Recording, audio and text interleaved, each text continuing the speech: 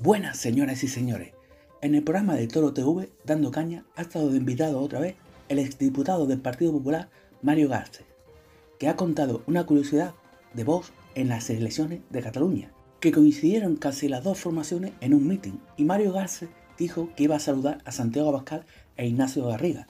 Los compañeros de Garces le dijeron que ni hablar, pero él fue y le dio un abrazo, que fue portada en prensa después, pero esto viene a cuento, aparte del aprecio que el exdiputado del PP le tiene a Santiago Abascal e Ignacio Garriga, porque en directo le da las gracias a Garriga por el apoyo de Vox al Partido Popular en las comunidades, aunque como dice Garces, hay dirigentes que lo están haciendo mal, quedando como uno desagradecido.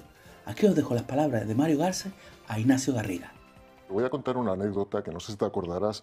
Estábamos haciendo campaña vosotros en Lérida y también nosotros el Partido Popular y me acuerdo que llenasteis una plaza de Lérida cuando tú te presentabas a la Generalitat de Cataluña. ¿no?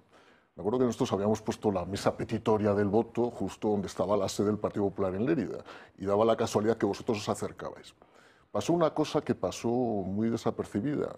Eh, yo entre los míos les dije, voy a acercarme a saludar a, Ignacio y a Santi. Son compañeros, tengo aprecio personal por ellos. Yo recuerdo que en aquel momento sufrí gritos de los míos diciendo, ni se te ocurra acercarte a saludar me acerqué a saludar, os di un abrazo y aquel día, el día siguiente, la portada del diario del Segre era el abrazo que yo le daba a Santiago Abascal diciendo las dos derechas están juntas.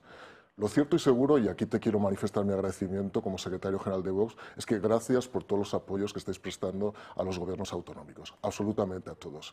Y que desde luego hay voces que desentonan a veces porque son ingratas. Por lo tanto, gracias, eh, Ignacio, por todo el trabajo que habéis hecho. Ya sabes que te tengo en una gran estima personal y política también.